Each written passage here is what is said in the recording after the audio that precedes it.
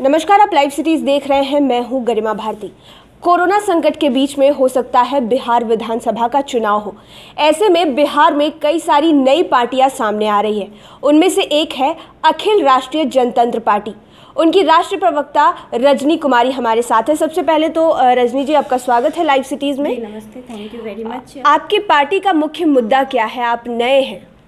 जी, हमारे पार्टी का मुख्य मुद्दा है बिहार से पलायन को रोकना। आपने देखा होगा, हमने लगातार पंद्रह साल हमारे पूर्व मुख्यमंत्री श्री लालू प्रसाद जी को हमने मौका दिया। उसके बाद जब उनसे जनता त्रस्त आ गई तो हमने नीतीश जी को भी दिया। और उनका स्लोगन भी था कि बिहार में रोज़गार आएगा, बिहार से पलायन रुकेगा। लेकिन आज आप देख सकते हैं, पंद्रह साल अब उनका कार्यक्रम पूरा होने जा रहा है। डबल इंजन में सरकार बना चला रहे हैं। बीच में आपने उन्होंने देखा, उन्हें कुछ लोग दल बदलू सरकार भी बोलते हैं, जिनसे त्रस्त आके लोगों ने उनको चुना, उन्हीं से जाके बीच में उन्होंने हाथ मिला लिया, फिर वापस वो बीजेपी से गठबंधन कर लिए। तो आज आप देख रहे हैं, हमारे यहाँ पलायन रुका नहीं है, आज भी हमारे यहाँ स्थिति बद से बदतर है। मैं एक छोटा सा उदाहरण देती हूँ, प्रिया गोल्ड बिस्किट, बिहार में अपनी फैक्ट्री लगाना चाहती है, लेकिन दो साल से फ़ाइल जस के तस पड़ी हुई है, उसको एनओसी नहीं मिला। अब शायद वो बात भी दब चुकी है। तो आप चाहते हैं कि मजदूरों का मुद्दा आपके लिए मेन रहे? आप पलायन को रोकना चाहते हैं। अभी भी बहुत सारे श्रमिक जो हैं वो दूसरे शहरों से आ रहे हैं। रोज़गार एक बड़ी समस्या हो गई है बिहार में कि इतने लोगों को रोज़गार देना है। इस वक्त आप एक पार्टी हैं। तो अ, क्या कर रहे हैं आप इस वक्त?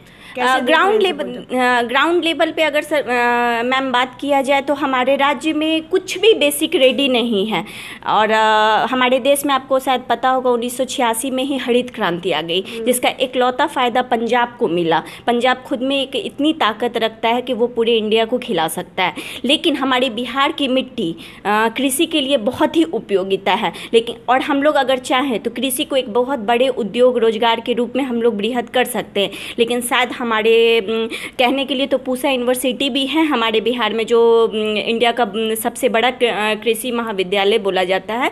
लेकिन टेक्निकल जो कृषि की जो जानकारी होती है, वो हमारे किसानों तक पहुँची नहीं है। दल बदली कृषि किसे कहते हैं? इक्कीस दिन में धान की खेती कैसे तैयार होती है? तो हमारे यहाँ जानकारी नहीं है कि कम पानी में आप कैसे करो। तो अगर हमारी पार्टी आती है तो हम तो पहली बात किसानों के लिए हर साल दस हज़ार रुपये एकड़ ज़मीन पे उनको सहयोग राशि देंगे और कृषि की उन्नत तकनीकें के लिए हम ये करेंगे। एक और छोटा सा मेरे पास उदाहरण है। आप देखते होंगे हमारे थर्सडे के दिन साई भगवान की पूजा होती है। जिसमें पटना का मैं बताती हूँ, लाखों करोड़ों का सिर्फ़ एक दिन में गुलाब का फूल बिक जाता है। आपको पता है वो गुलाब का फूल कहाँ से आता है? वो गुलाब का फूल मुंबई से सप्लाई होता है। जबकि हमारे यहाँ की मिट्टी खास करके सहरसा साइड की मिट्टी गुलाब की खेती के लिए बहुत ही उपयुक्त मानी जाती है। क्यों? मतलब हम- आप बिहार के मजदूरों और किसानों को आत्मनिर्भर बनाना चाहते हैं एज अ पार्टी बिल्कुल। कभी भी कोई चीज़ की महँगाई बढ़ती है तो आप देखते होंगे सबसे ज़्यादा सफ़र या तो मजदूर वर्ग के लोग करते हैं या मिडिल क्लास करते हैं। चलिए अगर एक लाइन में पूछ पूछा जाए आपसे कि आपकी पार्टी अगर सत्ता में आते हैं या फिर किसी भी तरह से अच्छे पोजीशन पर आती है तो आप क्या करेंगे बिहार के लिए? आपने तो मजदूरों और श्रमिकों की बात की किसानों की भी बात की तो वो एक लाइन क्या होगा? मैं उनको आत्मनिर्भर बनाने की हर मुमकिन कोशिश करूँगी। सशक्त बिहार का हम सपना तभी पूरा कर सकते हैं। जी। तो अखिल राष्ट्रीय जनतंत्र पार्टी का मुद्दा यही है कि वो लोग सशक्त बिहार बनाना चाहते हैं। आप लाइव सिटीज़ के साथ बने रहें, हमारे चैनल को सब्सक्राइब करें और साथ ही साथ फेसबुक पेज को लाइक करना बिल्कुल ना भूलें। धन्यवाद।